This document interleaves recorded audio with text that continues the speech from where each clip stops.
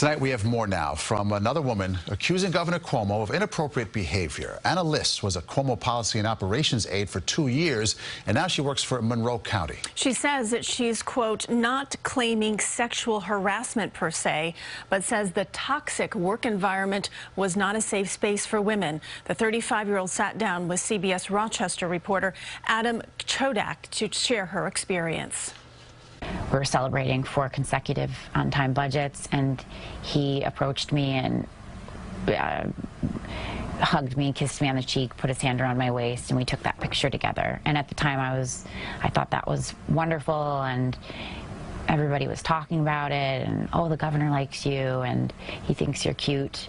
Um, and years have passed, and I realize now that. Um, I wish that the environment were a little bit different for young women. Were there any other incidents in which there was a more personal interaction like that?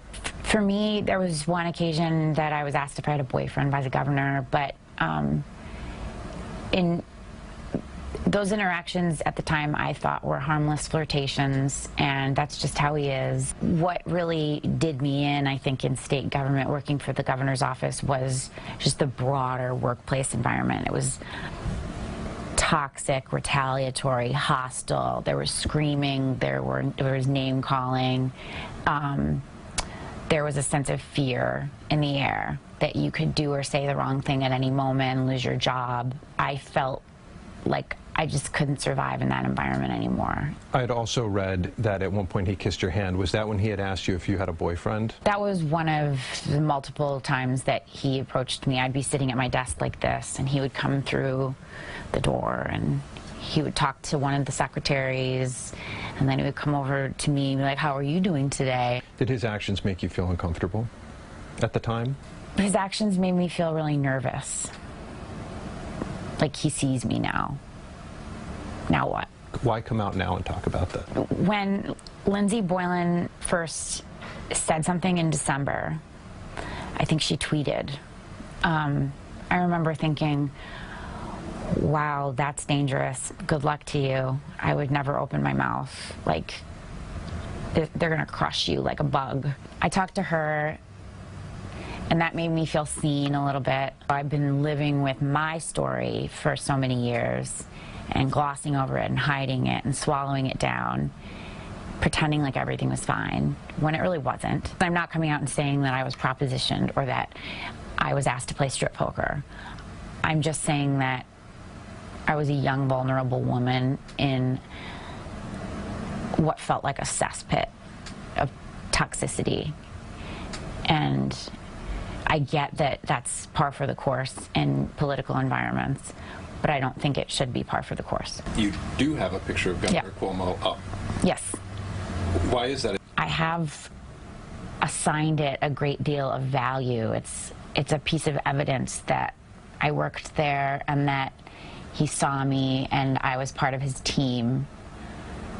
But on the flip side, it's visible evidence you know, his hands on my waist. He elevates women in his administration, but that doesn't excuse the patronizing behavior towards younger women. I think to succeed with as a young woman in Andrew's administration, you've got to be you've got to be the kind of woman that cuts other women down. What would you like to see Governor Cuomo do with all of this out there? I don't know that he can change the culture overnight.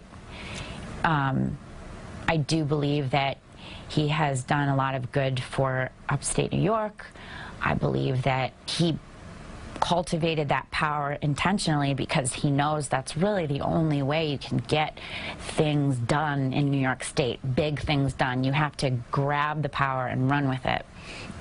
But with that comes megalomania. When you feel powerful, you feel like you're unimpeachable. And so I decided that I would come forward because um,